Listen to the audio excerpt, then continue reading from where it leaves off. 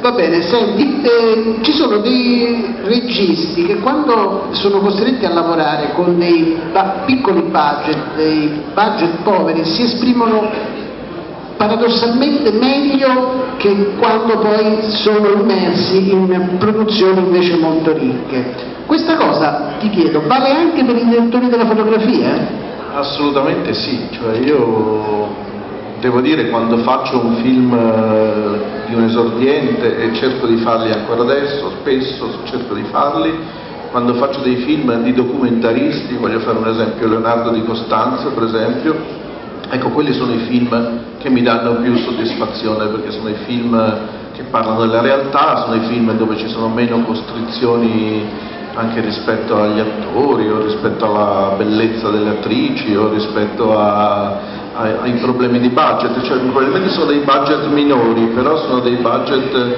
come dire, che, che, che, sono gestibili in maniera più consona alle necessità del film e quindi io mi trovo nettamente meglio.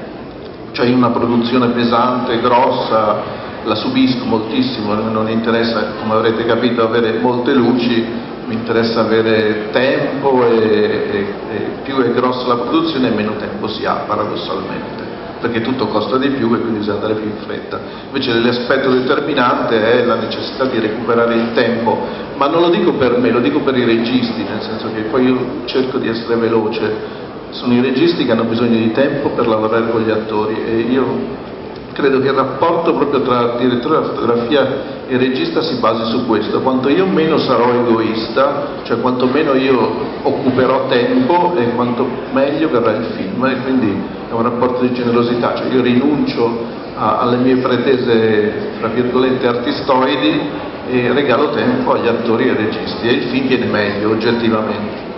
E quindi forse magari potrò fare anche più inquadrature, insomma, però insomma, bisogna superare l'egoismo particolare nel, nel proprio settorialità. Senti, dopo tanti film fatti... Io mi sto annoiando, lo sai. No, non credo proprio. La tentazione...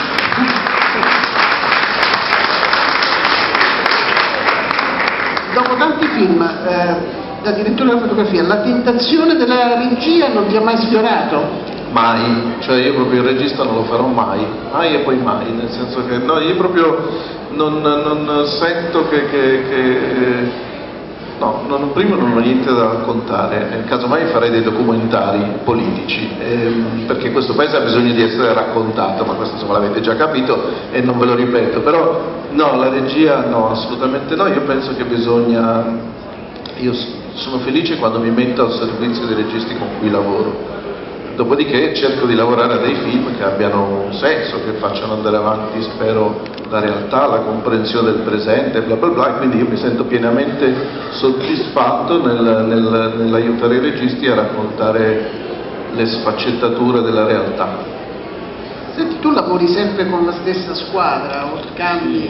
Il mio, il mio, capo elettricista lavora con me da 28 anni, siamo oltre al matrimonio, come si chiama, le nozze d'argento. Sì, nozze d'argento. Sì, sì, però è sempre la stessa troupe. Poi sono felice anche perché spero di aver formato altri direttori della fotografia giovani, insomma, mi sembra di sì. Insomma, Qualcuno? Beh, per esempio Daria D'Antonio, Gogò Bianchi, Generico Bianchi, Alessandra Pazzo, ma ce ne sono un po'.